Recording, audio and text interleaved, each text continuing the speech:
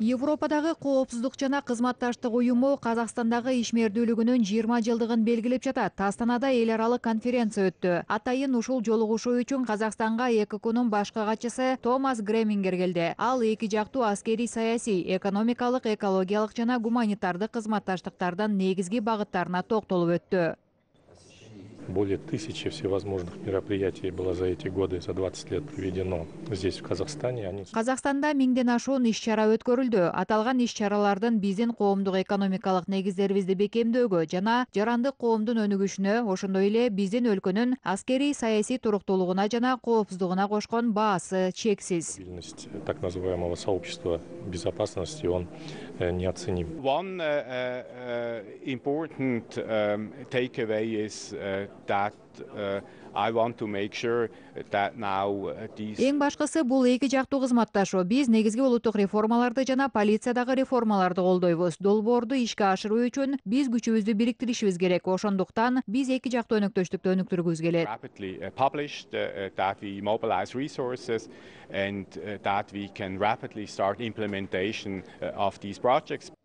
Эскерте кетсек экко курамына элүү жети мамлекет кирген жалпы европалык уюм. Жыл сайын өлкөлөрдүн бири тышкы иштер министринин жетекчилигинин астында төрагалык милдетти алат. Белгилей кетүүчү жагдай казакстан эккда эки миң онунчу жылы төрагалык кылган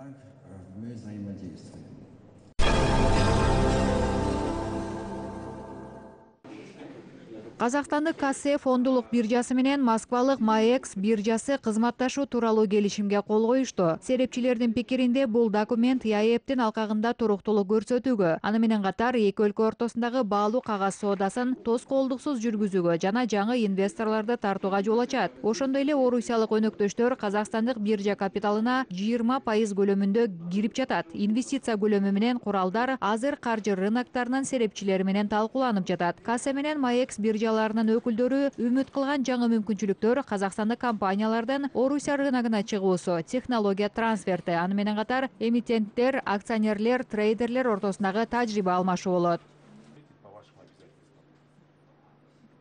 В лице московской биржи мы определили надежного. Казакстандык фонд биржасы үчүн москва биржасы ишенимдүү жана стратегиялык өнөктөш деп тааныйбыз алдыда эки өлкөнүн экономикасына түрткү бере турган ири долбоорлор күтүп жатат. Биринчи кезекте баалуу кагаздар рыногу. Корпоративдүү эмитенттер көңүл чордонунда бул жерде биздин ири мүмкүнчүлүктөр бар деп ойлойм. А мы приносим самое дорогое, что у нас есть.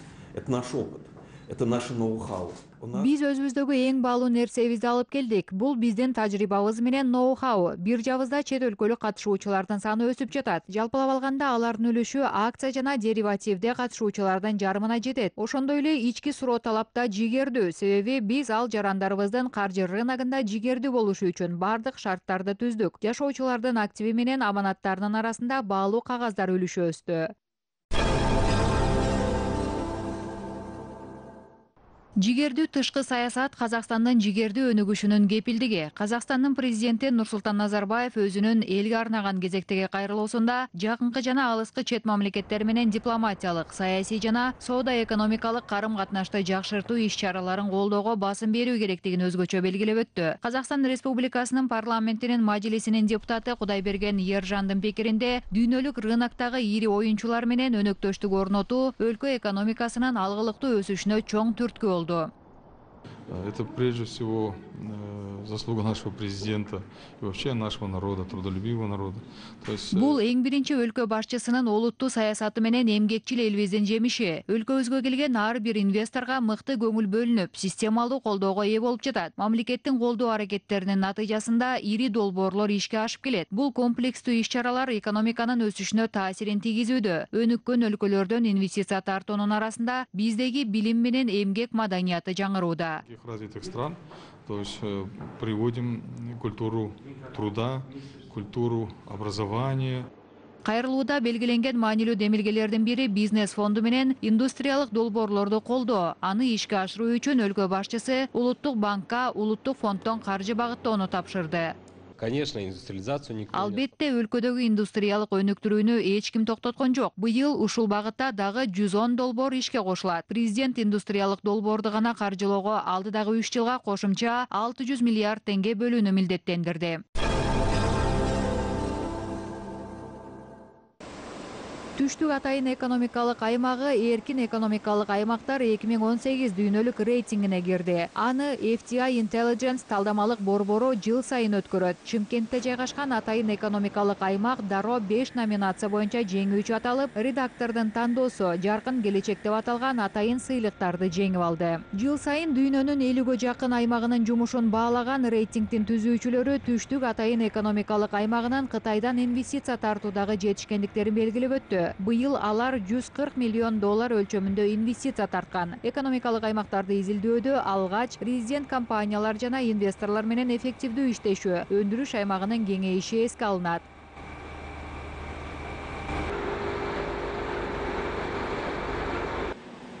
атайын экономикалык аймактар өлкө экономикасынын өнүгүшүнө жаңы түрткү берет азыркы тапта алардын саны ондон ашуун бүгүнкү күнгө чейин ушул аймактарга жети жүз миллиард теңге өлчөмүндө инвестиция тартылган. Алардын аймагында эки жүздөн ашуун долбоор ишке ашырылып жатат. Сырттан капитал тартуу максатында иштеп экскурсиялар жүргүзүлүп өз мүмкүнчүлүктөрүн тааныштырат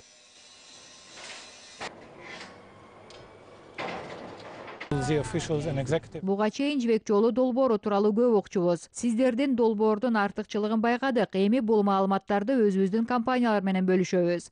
Атайын экономикалык аймактар чет өлкөлүк инвестицияларды тартуу менен кошо жаңы технологиялар менен бизнестеги дүйнөлүк алдыңкы тажрыйбаны казакстанда колдонууга киргизүүнү көздөйт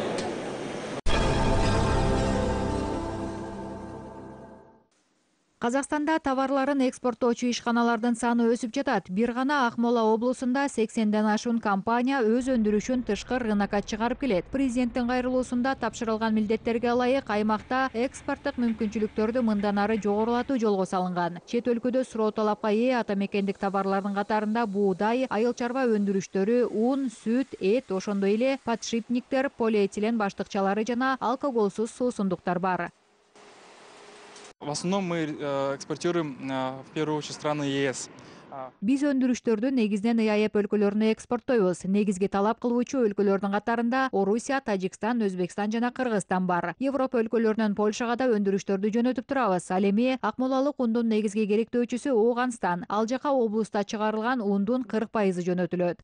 В Акмолинской области поставляется в Афганистан аймактагы ишканалардын үчтөн бири экспортко өндүрүш чыгарат. Алардын баардыгы иштетүү секторуна тиешелүү. Ушуга кошо облус алдыдагы беш жылдын ичинде эт менен сүт өндүрүшүн эки эсеге өстүрүп аларды иштете турган ишкананын жүктөмүн токсон пайызга чейин жогорулатуу көзделип жатат. Эки миң жыйырманчы жылга карай ток этинин өндүрүшүн сексен тоннага чейин жеткирүү пландалган объемы экспорта э, переработан. Азыркы тапта жылына иштетилген айыл чарба өндүрүштөрүнүн соодасы кырк алты миллион акш долларына жетсе алдыдагы жылдары аны жүз алты миллион долларга жеткирүү көзделип жатат. Более миллионов долларов сша. Акмолалык өндүрүштөр орусия беларусь борбор азия жана жакынкы чыгыш өлкөлөрүнө экспорттолуп жатат. Бириккен араб эмирликтеринин рыногуна чыгууга да мүмкүнчүлүктөр бар. Президент кайрылуусунда өз өндүрүштөрүн экспорттоп жаткан ишканаларды колдоо максатында өлкө казынасынан кошумча беш жүз миллиард бөлүүнү тапшырган. Бул өндүрүш очокторунун ишине түрткү берери шексиз тажикстан менен түркмөнстан салыктык келишимдерди ратификациялады. Документ эки эселенген салык төлөмүн жоюп өлкөлөр ортосундагы товар жүгүртүүнү өнүктүрүүгө инвестиция тартууга таасир берет деп жазат борбор азия маалыматтык кызматы. Статистикалык маалыматтарга таяна турган болсок ушул жылдын сегиз айында тажикстан менен түркмөнстан ортосундагы товар жүгүртүү отуз жети миллион доллардан ашкан. Эки миң он жетинчи жылдын ушул кези менен салыштырганда бул көрсөткүчтүн он беш пайызга өскөнү байкалат кыргызстан экономикасында өсүш бар. Өлкөнүн ички дүң өнүмү акыркы айда элүү сегиз миллиард сом же сегиз жүз отуз жети миллион долларды түзгөн. Бул тууралуу жыйырма төрт kg маалымат порталы кабарлайт ички дүң өнүмдөгү эң чоң үлүш кызмат көрсөтүү тармагына тиешелүү. Ал кырк беш пайызды түзөт. Өндүрүш үлүшү он тогуз пайыз. Серепчилердин маалыматы боюнча аталган көрсөткүчкө өлкөнүн алтын өндүрүү көлөмүнүн өсүшү таасир берген. Кумтөр алтын кенендеги өндүрүүнүн көлөмү өскөн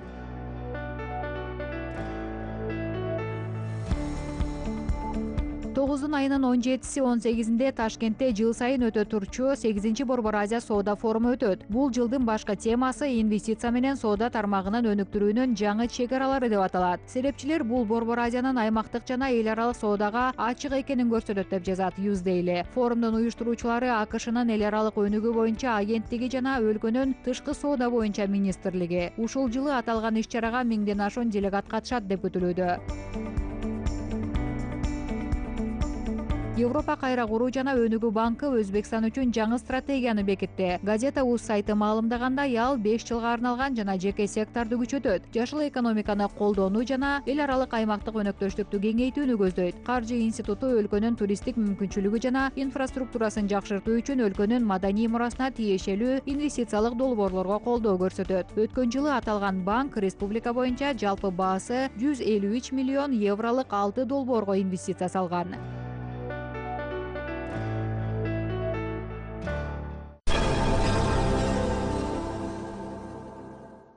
кыргызстанда архивдик ишти санариптештирүү колго алынып жатат. Бул таза коом программасынын алкагында ишке ашып жатат. Жергиликтүү телеканалдын видео материалдары да жаңы форматка кайра жаңырууда. Бул бөлмөдө коомдук биринчи каналдын берметтери жыйналган. Темир баштыкчаларда өлкөнүн жарым кылымдан ашуун өмүрүнүн саясий коомдук экономикалык жаңылыктарынын негизи сакталган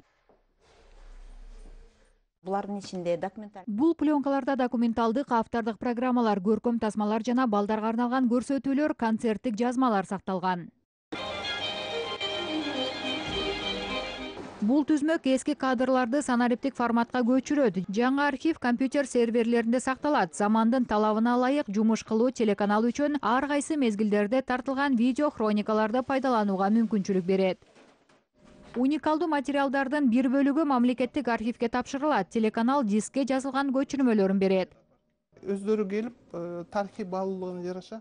Мамлекеттик музейдин адистери кандай видео кадрлардын тарыхый маанилүүлүгү бар экенин өздөрү аныкташат. Хронология боюнча талдап андан кийин бул жазмаларды башчылыкка келишүү үчүн жиберебиз. Жыл сайын биз мамлекеттик архивге жүзгө жакын жазма тапшырабыз кыргыз телеканалынын жарым кылымдык тарыхы документалист журналисттер үчүн жеткиликтүү болот ал эми өлкөнүн түзүлүшү жана өнүгүшү тууралуу хроникаларды мамлекеттик архив аркылуу алууга болот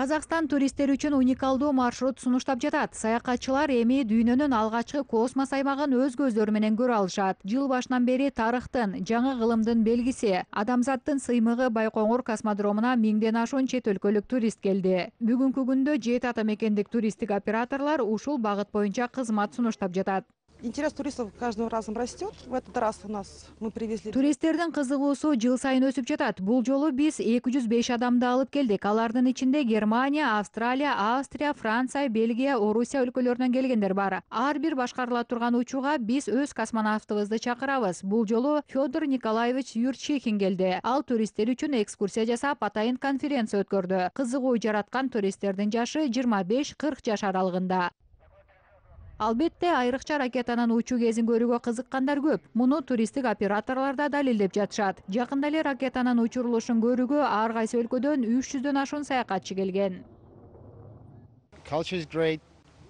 Бул мен үчүн улуу окуя. Учурулушун көрүп өтө толкунанып жүрдүм. Байкоңурда бир нече жолу болдум. Сонун шаар музейде болдум. Космостук эстеликтерди көрдүм. Алган таасиримди сөз менен жеткирүү мүмкүн эмес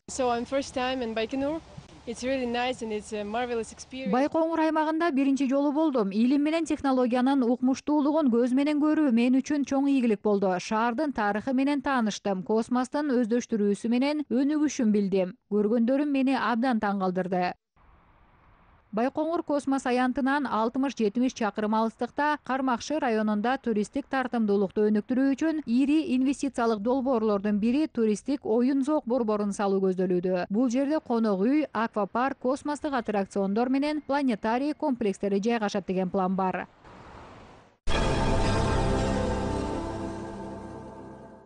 алматыда окурмандарга арналган клуб форматындагы дүкөн ачылды. Бул жерде каалаган адам өзүн кызыктырган адабият же окуу китептери тууралуу адистердин кеңешин угуп анын авторлору менен жолуга алат китеп дүкөнүндө мындан ары белгилүү жазуучулар менен жолугушуулар байма бай өткөрүлүп турат аталган дүкөндө балдар адабиятынан баштап казактын каада салты тарыхы көркөм адабият санариптик казакстан тууралуу жыйнактар менен белгилүү китептерди табууга болот.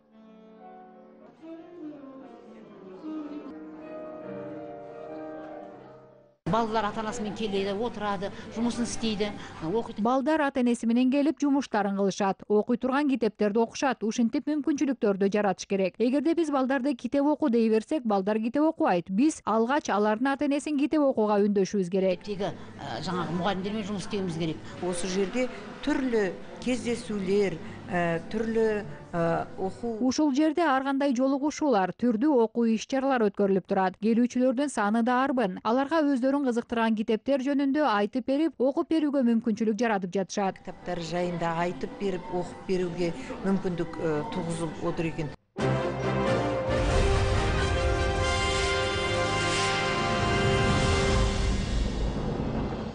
айдия айдарбеков айланасындагыларга үлгү болуп жүргөндөрдүн бири. Ал казакстандын жүз жаңы ысымы сынагынын биринчи сезонунун мыктыларынын бири. Жаш адис нью йорк кино чеберчилик академиясынын магистратурасын жогорку деңгээлде аяктап туулган жерине кайтып келип азыр казакстандык сапаттуу кино өндүрүшүн чыгарып дүйнөгө таанытуу тууралуу өз кыялдарын ишке ашыруу үчүн эмгектенүүдө всегда с детства мечтал о кино.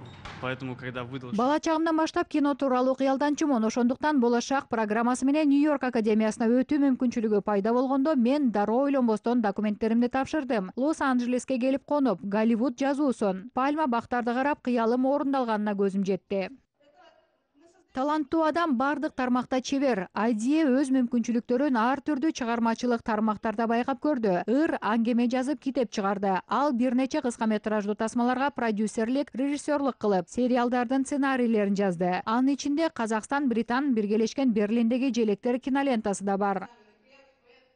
Это история. Бул ракымжан кошкарбаевдин эрдиги тууралуу тарых баардык сценарийда ошол күн тууралуу жеңиш күнү жөнүндө ал программист музыкант жана спортчу айдие билгенин өзүнөн кийинки жаштарга үйрөтүүдө чарчабаган адам. Жакынкы күндөр астанада балдарга арналган англис тилин акысыз окута турган курсу ачылганы белгилүү. Долбоордун ишке ашуусуна салым кошкондордун арасында айдие да бар. Очень важно чтобы бүгүнкү күндө алдыңкы муундун жетишкендиктерин көрүп аны үлгү кылып улуу муун жетишкендиктерине умтулуп өсүүсү маанилүү деп ойлойм белгилей кетсек өлкөдө жүз жаңы ысым долбоорунун экинчи сезону уланууда. Ар бир казакстандык өлкөнүн жүзү болуп алат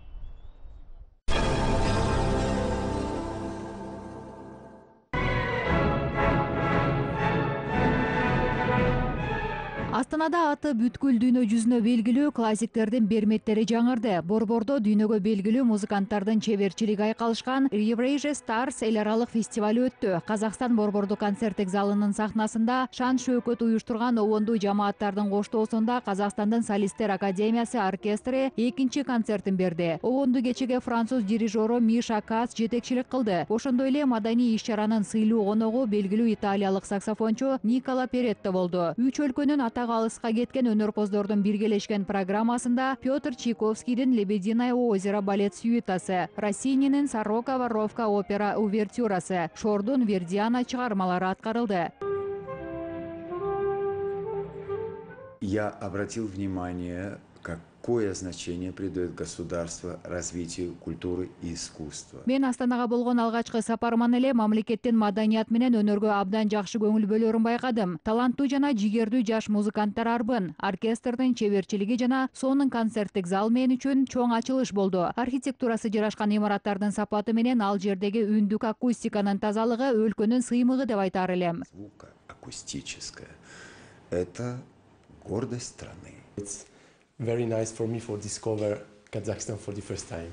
бул менин казакстанга болгон алгачкы сапарым өлкөлөрдү кыдырып жаңы бийиктиктерди багындырууну жактырам. Программамда заманбап обончу алекс шордун чыгармалары бар. Казакстандык оркестр менен биринчи жолу иштештим. Болжол менен бир сааттык даярдык жеткиликтүү болду. Бул өтө таланттуу жамаат менен алдыдагы убакытта биргелешкен долбоорлорду аткаргым келет.